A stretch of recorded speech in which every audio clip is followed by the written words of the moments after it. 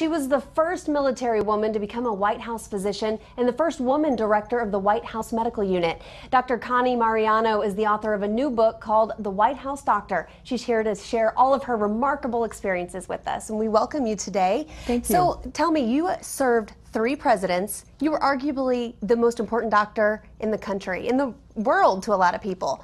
What was the biggest inspiration behind writing this book? I think what happened is a lot of people would come up to me and ask me, what was it like being at the White House?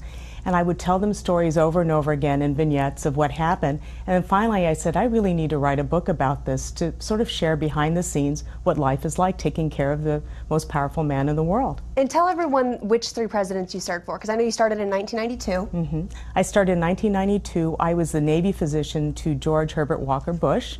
I spent the last year with him and then I was there through the entire Clinton presidency. And then for the last President Bush, I was there about six months to transition him into the new president, oh, actually into the new uh, physician at the time. That's amazing. You went through it three is. of the most powerful men in the world. And you talk in your book about everything from being uh, former President Clinton's personal physician mm-hmm. to putting a band aid on uh, George Sr.'s golf injury. Right. Can you just tell us what were some of the most memorable experiences for you? A lot of the memorable ones were just sort of everyday experiences with the most uh, publicized people in the world. You're seeing them in their home, in a private setting, and you realize how real they are. But also for a lot of the famous celebrities, you're seeing them when they're sick, when they're not wearing makeup or not in front of the camera, and you really get to know them as people up front you got to know him as people, and actually, uh, former President Clinton says in the book that he trusted you with her, not only his life, but with the lives of his family as well. Mm-hmm. So, how close did you get to the Clinton clan? Oh, you you are very much like their household staff. You're there all the time. You travel with them. The White House doctor is one of the few people on the 18 acres of the White House who can actually go upstairs to the president's bedroom and wow. say, Did you take your medicines? Are you not feeling well? You do the ultimate house call. You're a little bit like the mom of the house. You really are the mom of the house. And actually, someone said, Was it different for you being a woman versus having a male White House physician?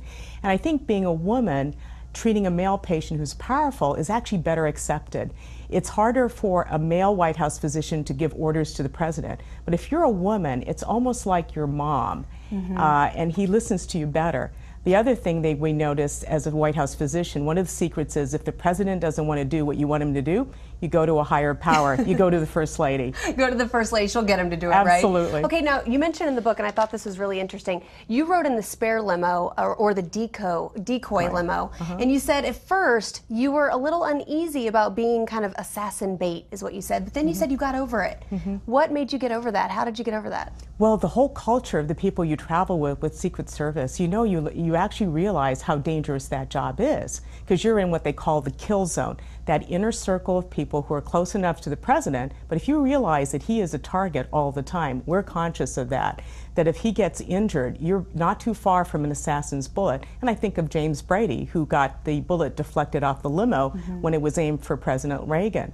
So you're in that inner circle. So after a while, you sort of get used to it. And some of the dark humor pervades the atmosphere. so we say, you know, one of the jokes we say is, well, if Air Force One ever crashes, you know, it'll say presidents, president and others perish. Well, you're part of the others. So it really humbles you a lot. Wow. Well, thank you so much for sharing all of these stories in your new book, My Dr. pleasure. Dr.